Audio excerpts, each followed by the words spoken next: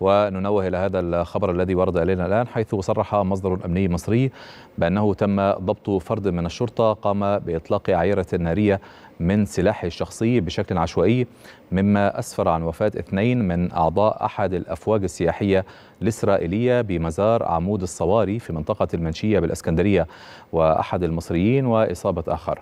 مبينا أنه تم على الفور القبض على فرد الشرطة واتخاذ الإجراءات القانونية حيالة كما تم نقل المصاب إلى المستشفى لاتخاذ العلاج اللازم.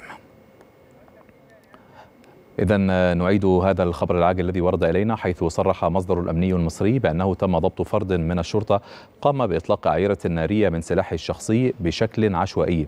مما أسفر عن وفاة اثنين من أعضاء أحد الأفواج السياحية الإسرائيلية في منطقة مزار عمود الصواري بمنطقة المنشية بالإسكندرية بالإضافة إلى أحد المصريين وإصابة آخر. مبينا أنه تم على الفور القبض على فرد الشرطة واتخاذ الإجراءات القانونية حيالة. كما تم نقل المصاب إلى المستشفى للعلاج.